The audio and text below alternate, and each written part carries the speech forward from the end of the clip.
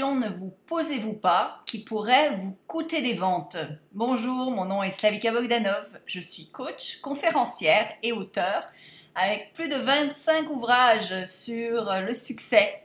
Donc ça fait des années et des années que je me consacre à ce sujet. En fait, comment atteindre ses buts, que ce soit financier, amoureux, en vente, etc.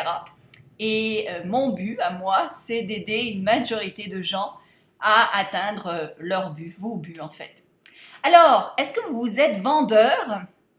À mon humble avis, je considère que tout le monde est vendeur. Parce que si vous avez une idée, que vous débattez avec quelqu'un, vous essayez de vendre votre idée.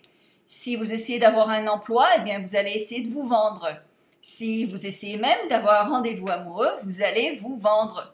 Donc quelque part, on est tous vendeurs. Mais il y en a qui sont plus vendeurs que d'autres, c'est-à-dire qu'ils ont un service ou un produit euh, qu'ils échangent pour de l'argent. Donc est-ce votre cas Que ce soit agent immobilier ou que ce soit dans un marketing de réseau, par exemple? Euh, alors, même marchand de voitures. Alors, il y a des questions que les vendeurs ne se posent pas et euh, qui peuvent vous coûter de l'argent, des ventes en fait.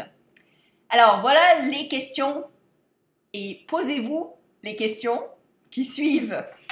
Première question, c'est quel est l'objectif que je veux atteindre cette année ou dans les six prochains mois ou dans les trois prochains mois? Donc vous créez de réels objectifs de vente que vous allez euh, atteindre ou que vous allez désirer atteindre. Beaucoup de gens ne se fixent pas d'objectifs et donc vont un petit peu euh, comme ça, comme, comme, comme le vent les porte, mais euh, que ce soit en marketing de réseau ou en vente euh, même immobilière ou dans peu importe dans ce que vous vendez, vous devez vous créer des objectifs financiers, donc des objectifs de résultats. Première chose. Deuxièmement, la deuxième question que vous devez vous poser, c'est combien de ventes est-ce que je ferme? Combien de ventes est-ce que je clôture? Quel est mon pourcentage de résultats? Donc, si vous prenez par exemple 100 personnes que vous rencontrez, sur ces 100 personnes-là, combien de ventes avez-vous fermées? Si vous ne fermez pas plus de 75% de vos ventes, eh bien vous avez un grave problème. Vous perdez votre temps, vous perdez de l'argent, vous perdez des clients et ça veut dire que votre système ne fonctionne pas. Il y a quelque chose dans votre système qui ne marche pas, que vous avez fait de travers. Donc il faut, c'est important de savoir euh, combien de clients vous fermez. Ensuite, c'est important de savoir combien de clients dois-je démarcher afin d'obtenir mes résultats financiers. Donc, c'est important de savoir combien de clients est-ce que je vais devoir rencontrer cette semaine, ou dans le mois, ou dans l'année? donc ça, c'est une autre question qu'il faut se poser. La prochaine question qu'il faut se poser, c'est euh, quand vous rencontrez quelqu'un, donc quand vous avez fait une, euh, rencontre euh, en vente, c'est de vous demander ben, qu'est-ce qui a fonctionné et qu'est-ce qui n'a pas fonctionné?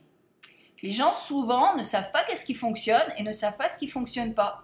Donc euh, ils vont un peu au hasard. Alors une fois ça marche, une fois ça marche pas, mais ils comprennent pas pourquoi. Donc tant que vous n'avez pas un système et que vous développiez donc votre votre votre intelligence en vente, eh bien euh, ça va être un peu du, cas par cas et vous allez un peu euh, être perdu dans tout ça. Donc c'est vraiment important de, de, de, de, savoir qu'est-ce qui marche et comment vous vous sentiez quand ça marche quelle était votre, votre apparence physique, votre, votre attitude mentale? Qu'est-ce qui s'est passé en vous qui a fait en sorte que vous avez euh, fermé une vente ou pas? La euh, prochaine question est de savoir, est-ce que vous êtes prêt à vendre?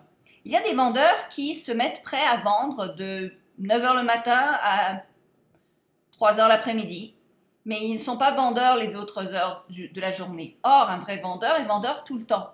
Donc, est-ce que vous êtes toujours prêt à vendre? Est-ce que vous avez toujours votre produit en main ou un descriptif ou quelque chose pour le présenter à vos clients.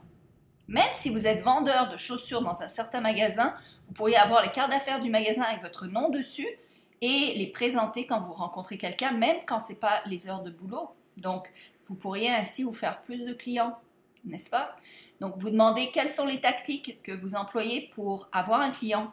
C'est important de savoir qu'est-ce que vous faites pour démarcher les clients. Est-ce que vous avez une stratégie ou vous ne savez, pas du tout euh, ce que vous faites ou ce que vous devriez faire Est-ce que vous vous éduquez? Parce que comme vendeur, d'ailleurs dans n'importe quel métier, euh, c'est important de s'éduquer, de toujours être au courant. Donc non seulement de vous éduquer sur ce que vous vendez, ça c'est très important, de vous éduquer sur vos concurrents, c'est aussi très important, mais de vous éduquer sur la vente, comment devenir meilleur vendeur, donc de continuer votre éducation euh, constamment, c'est très très important.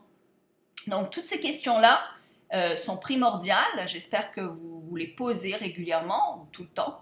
Et euh, si vous voulez en savoir plus, si vous voulez apprendre comment devenir un meilleur vendeur ou fermer plus de ventes, eh bien, je vous invite à suivre le cours sur les ventes, un cours spécialisé en augmentation de résultats de vente, donc augmentation de votre porte-monnaie, de votre portefeuille, et euh, un cours aussi qui est axé euh, pour tous les vendeurs et aussi pour les gens en marketing de réseau.